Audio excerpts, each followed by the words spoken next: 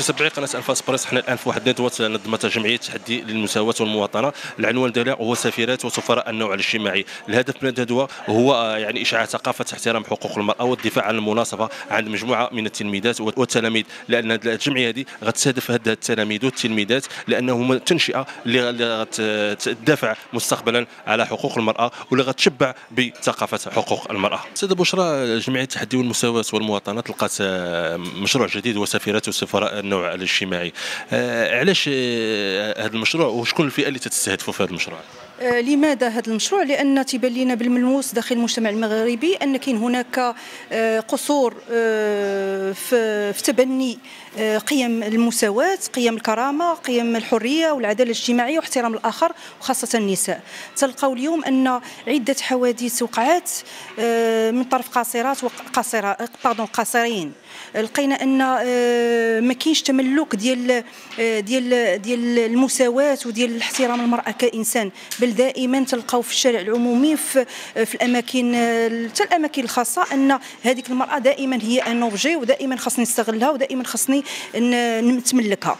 آه، كذلك لقينا أن آه، اليوم حان الوقت ماشي حان الوقت اليوم إحنا دائما نناضل وتنشتغلوا في هذا الجانب هو أن داخل المؤسسات التعليمية هذا النشء خاصنا خاصنا نوصلوا للقيم الإنسانية. هذا النشء خاصنا نربيو على المساواة. هذا النشء خاصنا ينبذ العنف ينبذ التمييز ينبذ اللامساواه لانها مهمه جدا ويحترم المرأة كانسان لأن هذا لو بروغرام اللي دخلنا فيه ولا هذا المشروع اللي دخلنا فيه ديال سفيرة وسفراء النوع الاجتماعي هو غادي غادي يستهدف عدة مؤسسات تعليمية على صعيد مدينة الدار البيضاء واللي غادي يقدر يكون 1600 تلميذ على صعيد مدينة الدار البيضاء. وهذا مهم جدا لأن غيشتغل معهم على القيم الإنسانية غيشتغل معهم على المساواة غيشتغل معهم على الذكورة الإيجابية غيشتغل معهم على المناصفة غيشتغل معهم كذلك على عدة قوانين منظمة في المغرب واتفاقيات دولية.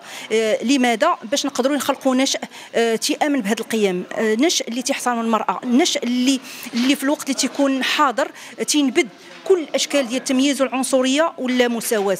حنا بغينا مجتمع آخر مجتمع اللي ينبني على المساواة الحقيقية بين الجنسين يتملكها هذاك النشء لأنه هو المستقبل هو اللي حنا تنراهنوا عليه. لأن جيل كبير كبر صافي سالينا ولكن كاين واحدين أخرين اللي جايين في, في الطريق اللي خصهم في الوقت اللي نكون خارجة في الشارع في الوقت اللي يكون داخل المؤسسات التعليميه في الوقت اللي تيكون في أي مكان أنه تحترم المرأة الإنسان. مجموعة من القوانين ورغم المجهود اللي تبذلوا الدولة. ولكن الملاحظ باقي هذيك الصورة النمطية على المرأة. علاش في رأيك؟ آه، لأن آه، بقات هذيك الصورة النمطية متغلغلة في المجتمع المغربي باعتبار أنه مجتمع آه، يؤكد على الثقافات والعادات وكذلك يحث على الذكور.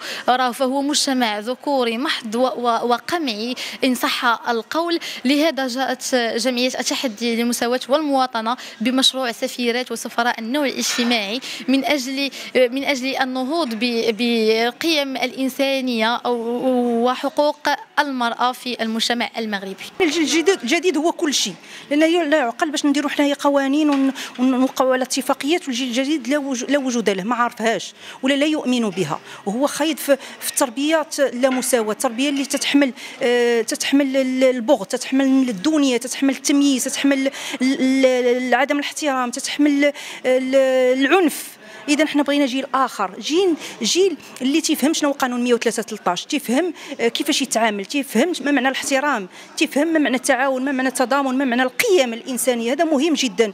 وكذلك حنا من المطالب ديالنا الأساسية في هذا المشروع كله هو أن المناهج التعليمية تكون تتحمل هاد هاد الأفكار ديال ثقافة حقوق الإنسان وحقوق المرأة. لأن حنا غنديروا غنديروا خطوات من أجل من أجل العمل مع التلميذات والتلاميذ. ولكن في نفس الوقت خاص الدولة وخاص وزارة التربية الوطنية ان تعمل في هذا الجانب ديال تربية النشء على القيم الإنسانية. اعتبروا هاد الشباب والشابات اللي غادي يكونوا غيشاركوا معنا في هذا المشروع هذا هما اللي كيحملوا مشعل النضال من أجل حقوق المرأة من أجل حقوق الإنسان كأول حاجة ومن أجل حقوق المرأة والمناصفة بين المرأة والرجل. هذا المشروع هذا غادي يتضمن عدة محاور وتكاوين لهاد الشباب هادو والشابات بالدار البيضاء على عدة مقاطعات أي ثمانية مقاطعات بالدار البيضاء. هاد التكاوين هذه غادي تكون à travers آه بزاف les notions ديال la parité de sexe يعني المناصفه المساواة بين الرجل والمرأة كيف ما سبق الذكر والمساواة بين الرجل والمرأة وعدة من عدة من عدة قيم إنسانية اللي عندها علاقة بالمساواة بين الرجل والمرأة.